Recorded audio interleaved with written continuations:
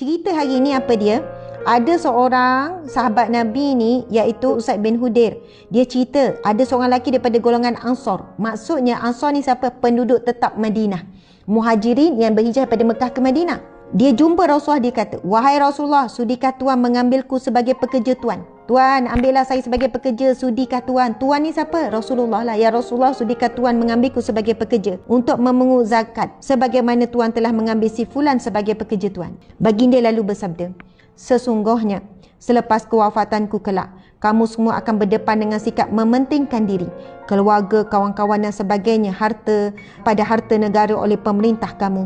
Oleh itu hendaklah kamu semua bersabar sehingga kamu bertemu denganku di kolam. Subhanallah. Maksudnya tuan-puan dimata Allah sekalian Nabi berpesan selepas kewafatanku kamu semua akan berdepan dengan sikap pentingkan diri. Masing-masing nak minta peminta jawatan tuan-puan sekalian. Minta amanah Nabi dah beri gambaran dah akan berlaku situasi begini. Maka kalau kamu dah sampai saat itu Nabi kata, Nabi pesan apa? Sabar. Kamu kena sabar. Sabar. Masuk sabar bukan duduk diam je. Sabarlah kalau kamu hidup susah pada zaman tersebut kerana ketidakadilan pemerintah. Sabarlah kalau kamu tak dapat hak kamu.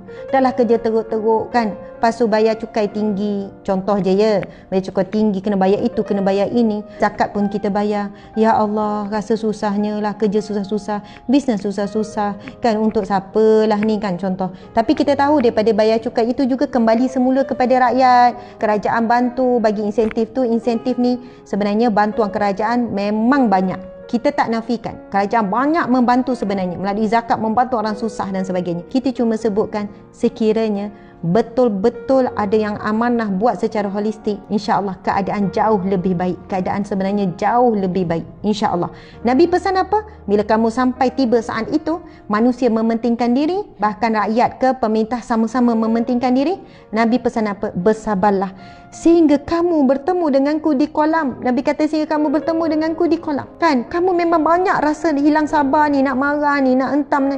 Tapi sabar nabi kata. Dengan doa dengan kamu sampaikan dengan cara yang baik. Ada yang mampu hanya mendiamkan diri mendoakan. Nabi kata sehingga kamu bertemu denganku di kolam.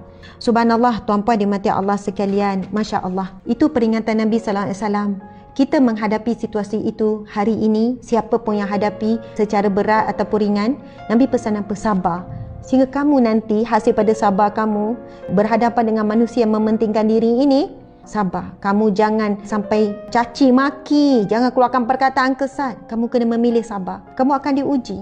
Sebab kamu tak ada kuasa dan sebagainya kan. Kamu akan diuji. Sehingga kamu akan bertemu denganku di kolam. Subhanallah. Cara Nabi pujuk kita tuan-puan sekalian. Nabi baik sangat. Nabi tahu. Ini mukjizat. Antara mukjizat Nabi adalah diberi gambaran apa yang akan berlaku akan datang. Nabi dah pesan, Nabi kata akan sampai satu saat selepas kewafatanku akan berlaku begini-begini. Dan Nabi pesan pada kita atas dasar cintanya, kamu kena sabar sehingga kamu nanti akan bertemu denganku di kolam. Nabi tunggu kita di kolam, kolam itu nanti di pada masyarakat lah, hanya akan diminum oleh umatnya yang akan masuk syurga.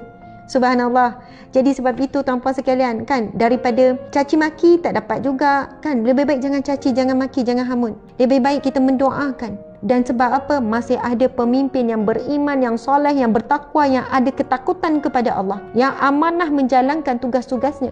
Jadi teruskan berdoa, jangan putus harap.